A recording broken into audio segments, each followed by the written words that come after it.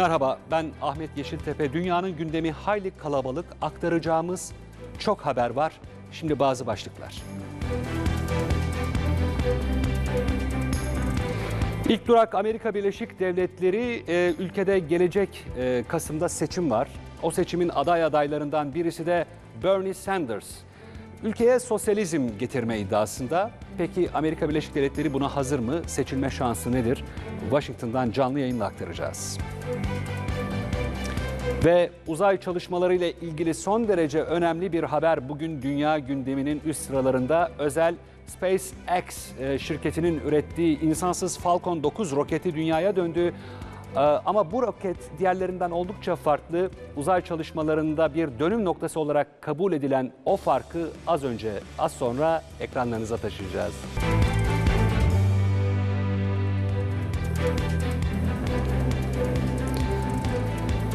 Amerika Birleşik Devletleri'nde Kasım 2016'daki başkanlık seçimleri için yarış kızışıyor. Demokrat Parti'de ismi öne çıkan adaylar e, Hillary Clinton ve Bernie Sanders.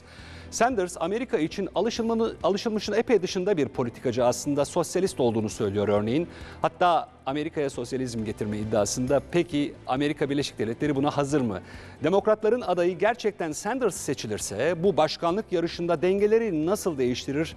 Cevaplarını almak üzere Washington'a uzanacağız. NTV Washington muhabiri Hüseyin Günay karşımızda. Hüseyin merhaba. İlginç bir kişilik Sanders. Ee, tabii ki e, oy desteği artıyor. E, istatistiklere bakıldığında, anketlere bakıldığında bir de tabii çok yüksek miktarda bir e, mali destek toplamış. Arkasında bir mali güç de var. Ee, Clinton'ı geride bırakarak demokratların adayı olabilecek güçte mi gerçekten Sanders? aday olabilecek güç ihtimaline sahip tek kişi aslında Hillary Clinton karşısında Barney Sanders, Ahmet Yeşiltepe. Şimdi aslında şöyle başlamak lazım. 8 Kasım 2016'da Amerika Birleşik Devletleri'nde başkanlık seçimleri yapıl- yapılacak ve Beyaz Saray'a yeni geçecek olan başkan belirlenmiş olacak. Sen de aslında girizgah olarak söyledin. Demokratlardan Barney Sanders ve Hillary Clinton ön planda. Cumhuriyetçilerdense maalesef Donald Trump ve Marco Rubio, ön plana çıkmış. Dört isim aslında bu dört isim arasında yıldızı farklı parlayan tek kişi Barney Sanders. Onun sebebi de Barney Sanders'ın kendini gençlik yıllarından bu yana sosyalist olarak tanımlaması. En son yapmış olduğu açıklamada da evet artık tartışmayı bırakabilirsiniz. Ben sosyalist bir demokratım açıklamasını öne çıkardı. Peki Amerika Birleşik Devletleri sosyalist bir başkan adayına hazır mı? Cevabı çok kolay. Aslında hiç de hazır değil. Sokak gerçekten Barney Sanders'a ciddi bir para desteği yapıyor. Özellikle Amerikan başkanlık seçimlerinde fundraisingler yani başkana yapılan para desteği, başkanın kampanyası için yapılan para desteği başkan adaylarının popülaritesini de belirleyen en önemli faktörlerden bir tanesi. Hillary Clinton'la kıyaslandığındaki es- kocası eski başkan Bill Clinton kendisi e, Dışişleri Bakanlığı yapmış bir kişi. Özellikle çok medyatik bir kişiliğe sahip ve kadın olması da onu çok popüler hale getiriyor. Ancak tanınmamış Barney Sanders e, bağışlarda Hillary Clinton'ı geçmiş görünüyor. Bu bir taraf, önemli bir destek. İkincisi de Barney Sanders'ın televizyon tartışmalarında ve mitinglerde yapmış olduğu konuşmalar. Amerika Birleşik Devletleri'nin tamamen yabancı olduğu şeyler söylüyor. Nedir bunlar? Özellikle silah tartışmasından başlayalım. Var olan bütün mevcut adaylar silahsızlanmaya ilişkin esnek açıklamalar yaparken Barney Sanders çok net bir şekilde Amerika Birleşik Devletleri'nde başkan olursa aşırı silahlanmayı kesinlikle engel- engelleyeceğini belirtiyor. Bunun yanı sıra zenginlerle ilişkili açıklamaları var. Ben Wall Street'in başkan adayı değil, sokaktaki vatandaşın başkan, başkan adayı olacağım diyor ve özellikle bu noktada da Hillary Clinton'la çakı- çakışıyor. Çünkü Hillary Clinton yüzde birlik zengin kesimin desteğini alırsam başkanlık yarışında etkili olurum diyor. Barney Sanders'a geri kalan %99 orta e, kesimdeki Amerikalılardan destek bekliyor. Önemli farklılıklardan bir tanesi de Barney Sanders'ın dış politika ki bu bizim coğrafyamızda özellikle etkiliyor. Barney Sanders dış politikada daha barışçıl, Obama'dan dahi daha esnek ve yumuşak bir politika gütmeyi planlarken diğer başkanlar ki buna Hillary, başkan adayları buna Hillary Clinton da dahil daha şahin, daha sert ve agresif bir politika e, güdeceğini açıklıyor. Peki Amerika Birleşik Devletleri bu Barney Sanders gibi sosyalist bir adaya hazır mı?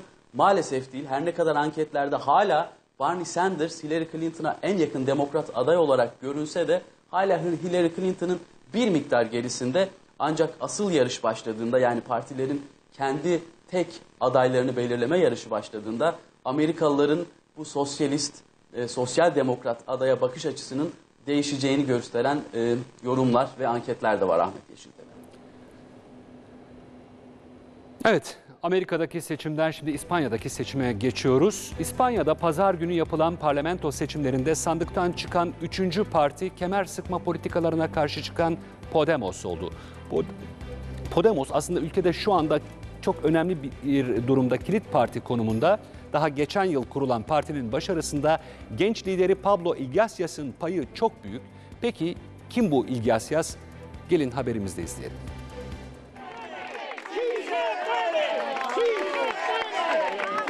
Pazar günkü seçimlerde yenilenen İspanya siyasetinde Podemos konuşuluyor.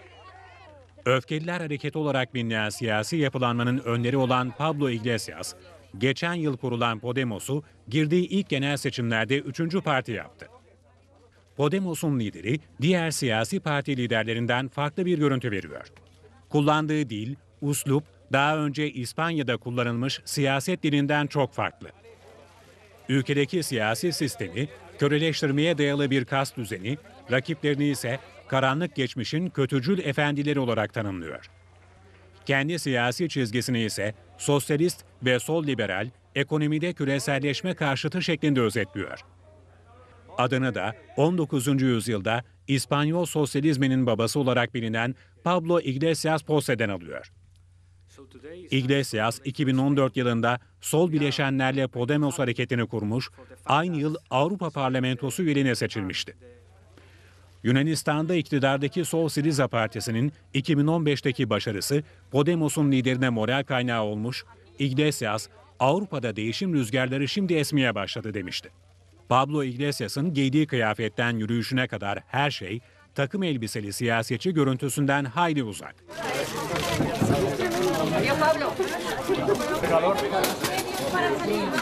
Iglesias saçlarıyla, küpesiyle geleneksel siyasetçi portresine aykırı bir görüntü veriyor. Ve bu şekilde özellikle gençlerden büyük ilgi görüyor. Uzun saçlarını arkadan toplayan, üzerine oduncu gömleği, ayaklarına spor ayakkabı giymeyi seven bir siyasi lider Iglesias. Yaşı da çok genç. Henüz 40 bile değil. 1978 doğumlu. Siyasete girmeden önce Madrid'de bir üniversitede siyaset bilimi dersleri veren, sosyal hak talepleri için aktif çalışan Iglesias, Avrupa'da genç kuşak siyasetin Çipras'la birlikte ilk temsilcilerinden. Şimdi sırada dünyanın farklı köşelerinden derlediğimiz haber başlıklarının yer aldığı bir tur var. İlk başlığımız Lübnan'dan. Ee, Son 5 aydır uluslararası kamuoyunun gündemine oturan Lübnan'daki çöp krizinin çözümü için hükümet nihai bir karar aldı. Lübnan'da otoparklara, stadyumlara biriktirilen çöp dağlarını iki yabancı firma ayrıştırmak ve imha etmek üzere ülke dışına çıkaracak. 200 milyon dolara mal olacak bu operasyondan sonra Lübnan'ın kalıcı çözüm için yeni bir eylem planı oluşturması bekleniyor.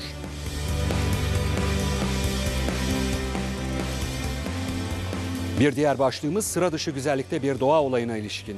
Avustralya'nın güneybatı sahillerinde Sydney yakınlarındaki Terrigal kayalıkları son iki gündür kutup ışıkları Latince Aurora Borealis adı verilen doğa olayına tanıklık ediyor. Amatör fotoğrafçıların akınına uğrayan bölgede rengarenk doğal ışımalar göz kamaştırıyor. Kutup bölgelerinde ya da yüksek meridyen bölgelerinde gözlenen bu ışımalar yeryüzünün manyetik alanıyla güneşten gelen yüklü parçacıkların etkileşimi sonucu ortaya çıkıyor.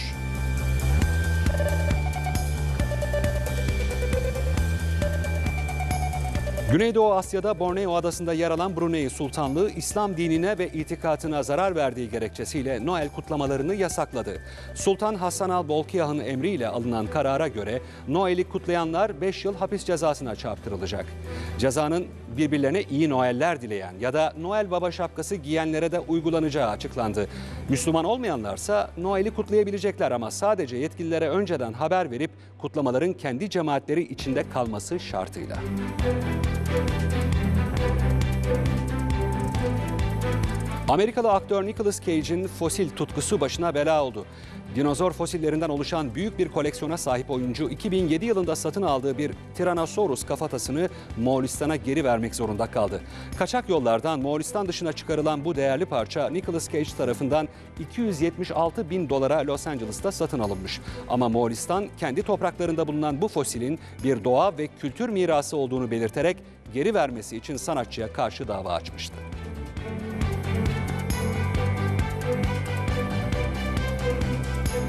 Amerika Birleşik Devletleri'nin eski başkanlarından Bill Clinton ve Demokrat Parti'den başkan adaylığına hazırlanan Hillary Clinton bir kez daha dede ve büyük anne olmaya hazırlanıyorlar. 35 yaşındaki kızları Chelsea, Twitter hesabından yaptığı açıklamada yaz aylarında bir doğum daha yapacağını duyurdu. Chelsea'nin bir yaşında Charlotte adında bir kızı bulunuyor.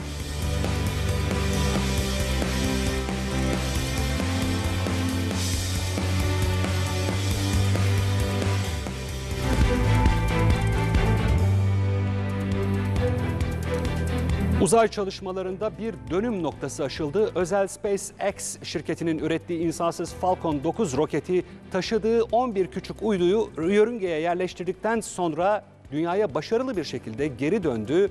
Hem de dikey iniş yaparak.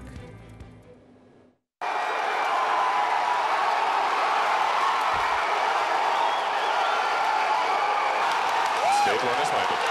LZ1, the Falcon has landed. Falcon Uzay çalışmalarında bir ilk gerçekleştirildi. Uzay aracı ve roket üreticisi SpaceX şirketinin ürettiği Falcon 9 roketi, Florida'daki Cape Canaveral üssünden fırlatıldıktan sonra taşıdığı 11 küçük uyduyu yörüngeye yerleştirdi. Ardından da dünyaya başarıyla döndü. Böylece ilk kez insansız bir roket yeryüzüne dikey iniş yapmış oldu.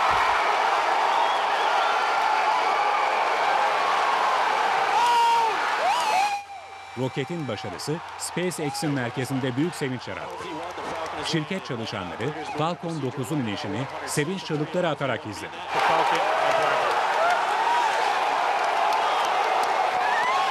Bu başarılı iniş roketlerin yeniden kullanılmasına olanak sağlayacak. Bu da uzay çalışmalarında ciddi tasarruf sağlanacağı anlamına geliyor. SpaceX'in 28 Haziran'da Uluslararası Uzay İstasyonu'na malzeme götürmesi için fırlattığı Falcon 9 roketi havada infilak etmişti. Amerikan Havacılık ve Uzay Dairesi NASA, uzay mekiklerinin 2011'de emekliye ayrılmasının ardından Uluslararası Uzay İstasyonu'na ikmal için SpaceX şirketiyle anlaşmıştı.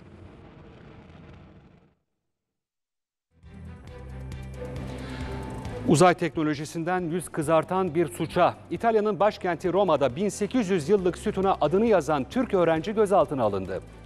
İtalyan basınında yer alan habere göre Aziz Mutlu adlı Erasmus öğrencisi 1800 yıllık imparatorluk forumundaki sütunlardan birine bozuk parayla adını yazdıktan sonra gözaltına alındı. Bir gün polis merkezinde bekletilen Mutlu ardından adliyeye götürüldü. Tarihi esere ağır hasar verdiği gerekçesiyle 200 euro para cezasına çarptırılan Aziz Mutlu cezayı ödedikten sonra serbest bırakıldı. Mutlu'nun Roma Belediyesi'ne de 2000 euro ödemek zorunda olduğu belirtildi. Yaptığının suç olduğunu bilmediğini söyleyen Aziz Mutlu, sütunda başka isimler de gördüğünü, bunun üzerine kendi adını yazdığını belirtti. İtalyan medyası sütuna kazınan yazının pahalı bir restorasyonla yok edilebileceğine dikkat çekiyor. Dünyanın dört bir köşesinde bölgesel savaş ve çatışmalar sürerken Kenya'dan umut veren bir dayanışma haberi geldi. Ülkedeki bir terör saldırısında Müslümanlar Hristiyanlara siper oldu. Terör örgütü Eş-Şebab militanları Kenya'nın başkenti Nairobi'den ülkenin kuzeydoğusundaki Mandera'ya gitmekte olan otobüsü durdurup Hristiyanları öldürmek istedi. Otobüsteki Müslümanlar ise gruplara ayrılmayı reddederek Hristiyan yolculara siper oldular. Abdi Mahmud adındaki Müslüman bir görgü tanığı yerel kaynaklara yaptığı açıklamada militanlar üzerimize ateş açmakla bizi tehdit etti ama biz Hristiyan kardeşlerimizden ayrılmadık. Sonunda bizi rahat bıraktılar fakat geri döneceklerini söylediler dedi. Eşşabap'tan yapılan yazılı açıklamadaysa otobüse yapılan saldırı girişimi doğrulandı ama ayrıntı verilmedi.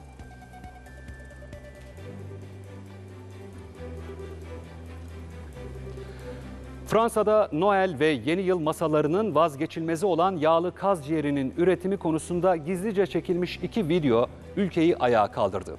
Hayvan hakları savunucuları yağlı kaz ciğeri üretiminin yasaklanması için yine devrede. Foie gras adındaki meşhur kaz ciğeri yemeği Fransızların övündükleri en önemli geleneksel lezzetlerden biri.